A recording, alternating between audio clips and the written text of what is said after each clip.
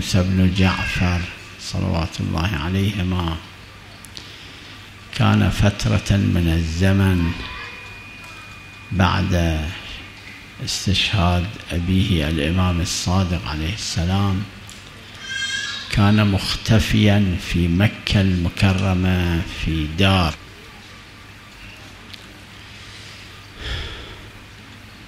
في ذلك الوقت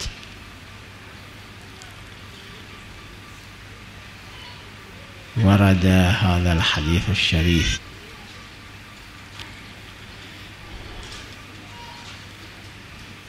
أخوان من اليمن اصطحبا يأتيان إلى مكة المكرمة. فجاء أحدهما والإمام موسى بن جعفر في الدار التي كان فيها بعث علي بن أبي حمزة إلى المطاف في المسجد الحرام وقال له شخص هكذا وصفه ائتني به. جاء علي بن أبي حمزة إلى المسجد الحرام ورأى الرجل واصطحبه إلى الإمام موسى بن جعفر.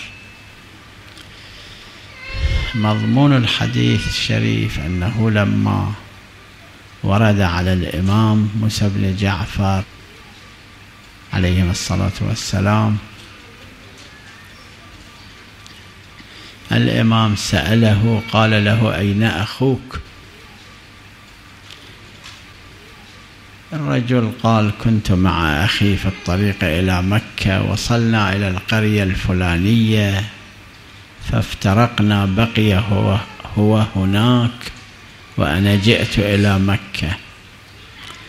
ولم ينقل للإمام ما حدث بينه وبين أخيه.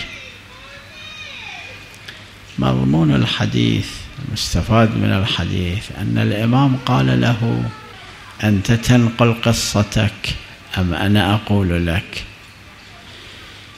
سكت الرجل. الإمام قال له أنت وأخوك اصطحبتما تريدان مكة.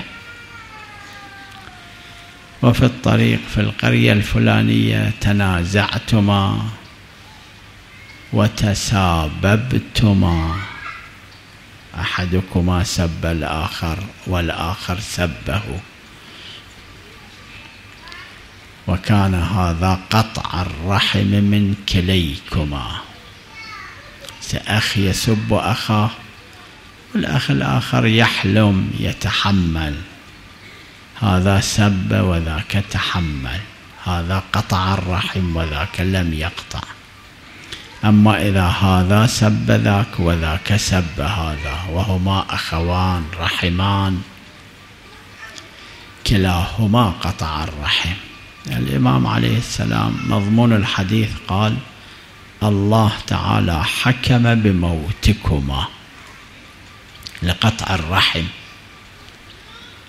ولكن أنت في طريقك إلى مكة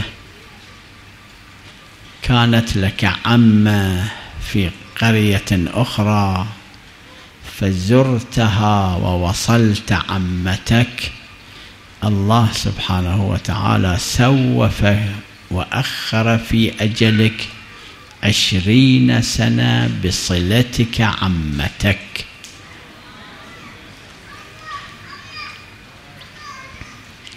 وأما أخوك فيموت قبل أن يرجع إلى أهله. هذا ما قاله الإمام موسى بن جعفر عليه الصلاة والسلام لهذا الرجل اليمني. علي بن أبي حمزة يقول في السنة التالية في مكة المكرمة رأيت الرجل وسألته عن أخيه فقال أخي مات في الطريق ودفن في الطريق. لماذا؟ لقطع الرحم. ويضيف علي بن أبي حمزة يقول الرجل رأيته إلى عشرين سنة يعني بعد عشرين سنة أيضا رأيت هذا الرجل في الحج. قطع الرحم يقطع العمر وصلة الرحم يزيد في العمر. الحسنة ينتفع الإنسان بها في الدنيا والآخرة والسيئة تصيب الإنسان بضرها في الدنيا والآخرة.